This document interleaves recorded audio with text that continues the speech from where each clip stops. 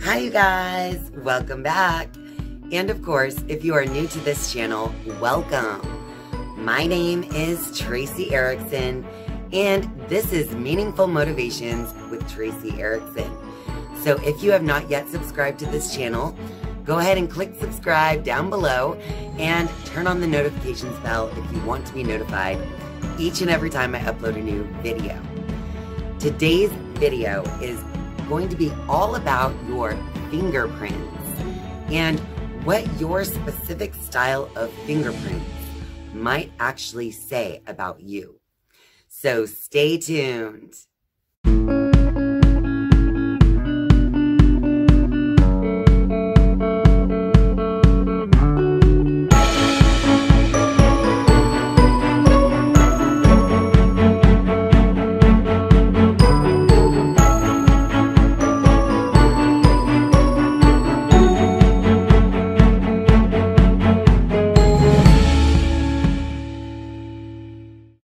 If you've been watching this channel for some time now, then you already know that I believe our physical bodies are a reflection of our inner essence.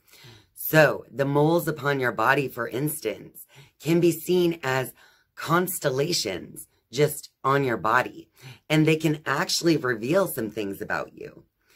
It is no different with palmistry. I've been interested in palmistry for such a long time.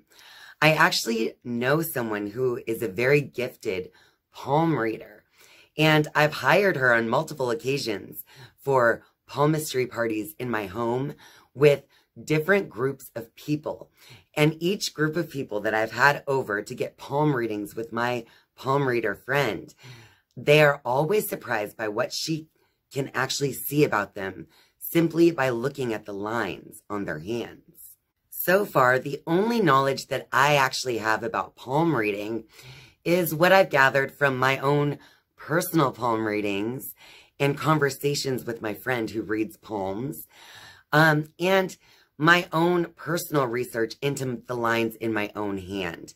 So this is a skill that I'm just kind of building within myself just out of my own curiosity and so I thought I'd share some things with you guys that I have been learning um, about palm reading. Before we get into it, this video is sponsored by me and Tracey's Apothecary on Etsy. Today's featured product is the Dreamweaver Room Spray with Amethyst, which pairs perfectly with the Dreamweaver Roller with the Amethyst.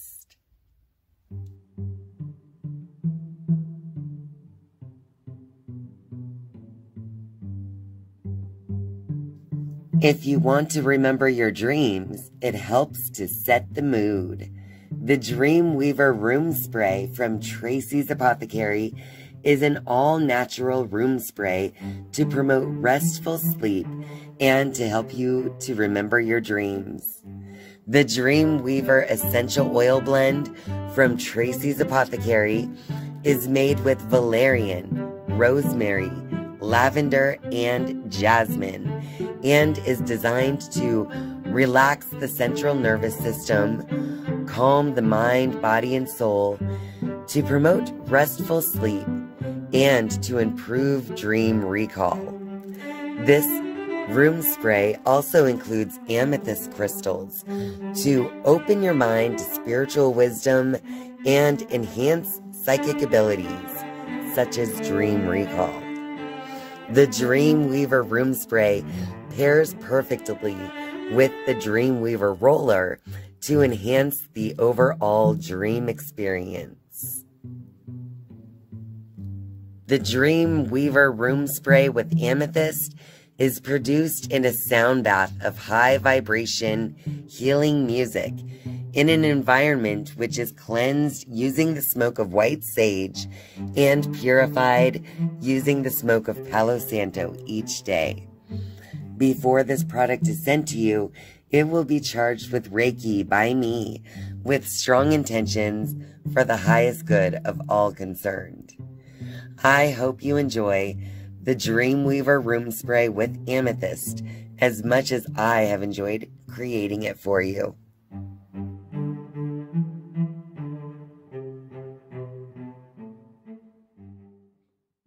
So I'm going to zone in on fingerprints in this particular video. And since this is not something that I'm particularly an expert in, I'm actually just going to bring you guys along on my learning journey here. In today's video, I'll be using two different references to kind of expand our knowledge on what fingerprints and different styles of fingerprints could mean about you and your personality. So one reference we'll be using are the palmistry cards. I received these as a gift from my mom uh, for Christmas. And they're kind of like flashcards, but for palmistry. So these actually are kind of like a little teacher of mine. And we will also be using this book, Palmistry, Your Personal Guide. And so those are the two references that I will be using in today's video about fingerprints. According to the palmistry cards that I will be using today, the fingerprints have four different styles. And those four styles, if you can see them here, actually, let me just go ahead and put the image on the screen for you guys. So the four styles of fingerprints, according to this card, are the wave, the tent, the comet, and the whirlpool. And according to this deck, each of these four types of fingerprints that you see here have a different type of life path connected to them. So we have the wave, which is connected to the life path of responsibility. We have the tent connected to the life path of courage. We have the comet, which is connected to the life path of the heart, and the whirlpool connected with the life path of teacher. So I'll be going through each of those different meanings with you guys here in just a minute. But I also want to go to the book here because according to the book, there are six different types of fingerprints that we should look at. So look at your fingerprints and see if they match up with any of these styles. According to the book, we have, according to the book, we have the loop, the arc or straight lines. We have the tented arc, the whorl, the peacock's eye, and the composite patterns. Before we get into the fingerprints, I just want to give you guys a quick lesson on the fingers themselves. So in palmistry, the different sections of the hand have different planets associated with them. So in some of these descriptions, you will see like the finger of Jupiter or the finger of Apollo. And so those names are referring to specific fingers. So we have the finger of Jupiter as your index finger or the pointer finger. The finger of Saturn is your middle finger, so the second finger. And the third finger, your ring finger, is the finger of Apollo. And then finally your pinky, the small finger, is the finger of Mercury. So as you hear these descriptions, you might also want to refer to those fingers to see, you know, where the different fingerprints are on your hand and which finger they are associating with. So Jupiter is the pointer finger, Saturn is the middle finger, Apollo is the ring finger, and Mercury is your pinky finger. So the first type of fingerprint that we'll be talking about today is the wave. And this is what the wave looks like. And in the book, this one is similar to the arc or straight lines. So we can call it the wave or the arc or straight lines type of fingerprint. And according to the card, the wave is a life path of responsibility. So your life path is to be a responsible person in the duties that are given to you or that you take yourself. You will become a strong person by being productive and working hard. Those that have this life path have difficulty feeling inner peace. They get restless easily if they are not self-disciplined. Even if you have difficulties, you will be able to deal with life easily and stay calm if you take pride in your work and do it well. Also, being in nature makes you feel relaxed. Walking through a forest, working outdoors, or even working in a garden will make you feel happy and fulfilled. So that is what it has to say about the wave in the card. Now let's go on over to the book and see what it has to say about the arc or straight lines, which is the same fingerprint style as the wave. An arc or rows of straight lines across the fingertip are common features, but they rarely show up on all the fingers at once. The arc belongs to a hardworking person who lacks confidence. When on the Jupiter finger or the thumb, this demonstrates a difficult start in life and a family that didn't give the subject any opportunity to develop self-esteem. And the next fingerprint we will be talking about is the comet, according to the palmistry cards. And in the book, it is called the loop. So we can call this one the comet or the loop. And according to the palmistry card, the comet fingerprint has the life path of the heart. And it says, Your life path is to put your heart into everything that you do. You are happy when you can express your feelings and your dreams. The things that you do the best are the things that you could put your heart and imagination into. Always let others know how you are feeling. If you hide your emotions, life will be very difficult. Also, you may enjoy writing because it's a good way for you to bring out your imagination.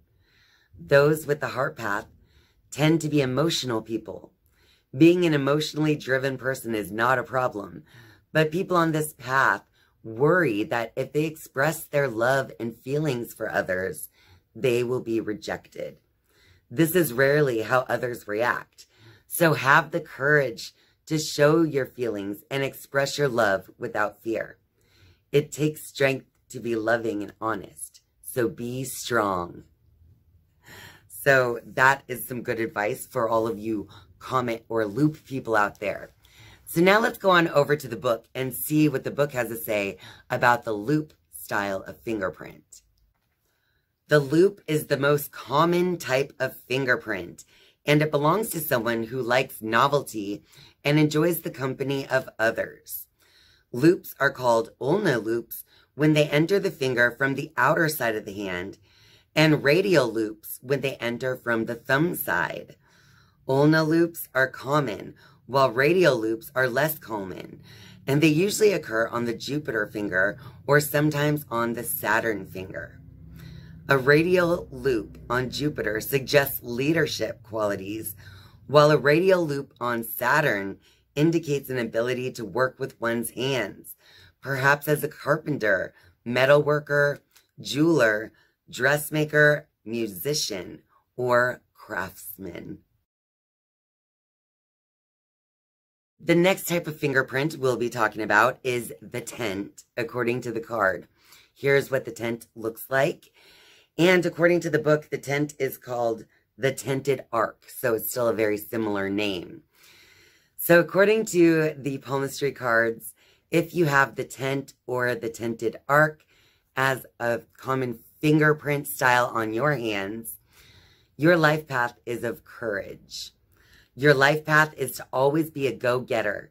This means that if you are an enthusiastic person, things will always work out for you. You have the ability to start projects on your own and make things happen. Always remember that things will not go your way if you lack determination or do not take action. You also have the ability to motivate and inspire people. You could organize a large meeting, a protest march, or a charity drive. This life path provides a special ability to develop the qualities of courage and bravery. So whether in physical or intellectual activities, never hesitate to take a stand and to act boldly. So now let's go on over to the book and see what the book has to say about the tented arc. The tented arc suggests the person goes over the top in some area of his life. And if it's on the Jupiter finger, this suggests fanaticism about a cause or some type of ideology.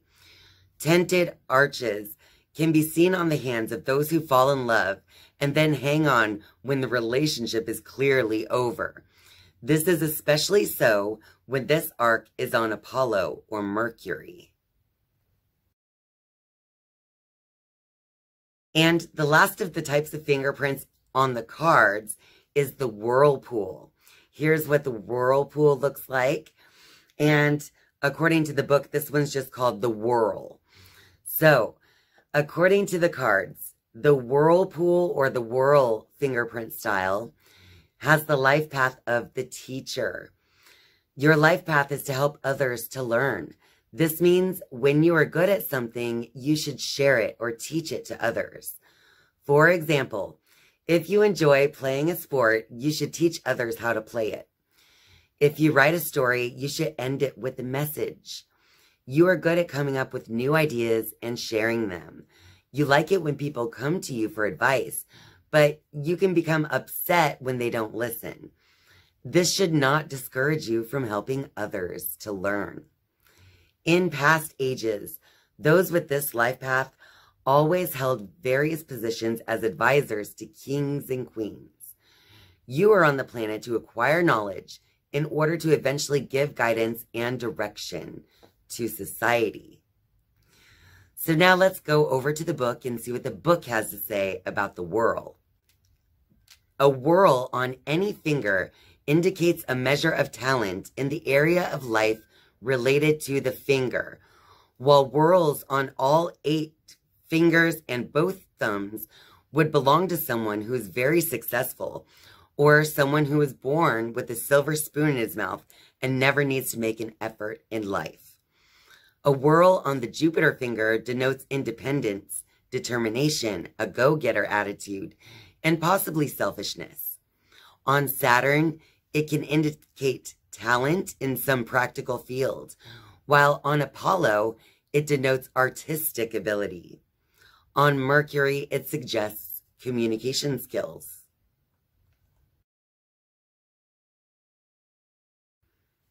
The next fingerprint from the book is the peacock's eye. And it says, this is a combination of a loop and a whorl, and it is somewhat unusual of a fingerprint. It usually appears on the Apollo finger, suggesting artistic or musical talent, but it can also indicate a talent for homemaking, crafting, or gardening. If on Mercury, it denotes a talent for public speaking and writing. This person may also be an excellent counselor, nurse, or care assistant. A peacock's eye on the Saturn finger shows talent in a practical field such as technical drawing, carpentry, building, or civil engineering. And the last type of fingerprint to share with you is the composite patterns. And in the book, it says this may refer to a double loop or a double whorl, both of which are uncommon patterns that are rarely seen on more than one or two fingers at the same time. This person might find it hard to make decisions because both logic and intuition operate at the same time. And this can confuse an issue. It is useful, however, for those who work in the psychic sciences because it shows an ability to deal with spiritual or psychic matters as well as practical ones. My fingerprints, I have mostly loops on my fingers, except on my right thumb, I have a peacock's eye. On my right, uh, which one was this again? The finger of Saturn? No, Apollo. on the finger of Apollo, I have on this one a whorl, and on my left hand, the finger of Apollo has the peacock eye. But the rest of my fingertips are just loops. So comment below what kind of fingerprints do you have and does it kind of line up with the descriptions that were given in this video?